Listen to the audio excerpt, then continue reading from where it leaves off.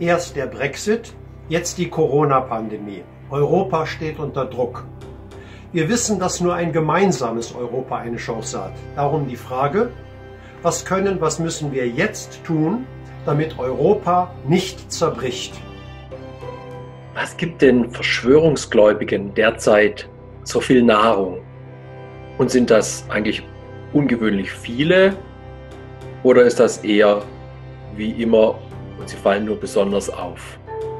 Kinder im Alter von drei bis zehn Jahren sind die letzten, die wieder in den Kindergarten oder die Grundschule gehen dürfen. Wie schätzen Sie die Auswirkungen der Corona-Pandemie für diese Altersgruppe ein? Es gibt ja den schönen Spruch, wer am lautesten schreit, der findet am meisten Gehör. Wer schreit denn momentan vielleicht auch zu viel und wer bleibt auf der Strecke und findet gar kein Gehör? Vom Homeoffice sind Männer und Frauen betroffen. Homeschooling dagegen scheint allein an den Müttern hängen zu bleiben.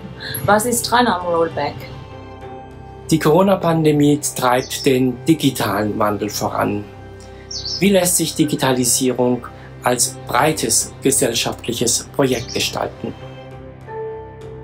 Trost spenden, Hoffnung am Leben halten, Schwache unterstützen. Was sagen und tun die Kirchen- und Religionsgemeinschaften in der Krise und sind sie dabei deutlich genug? Wer eskaliert im politischen Raum wie und mit welchem Ergebnis?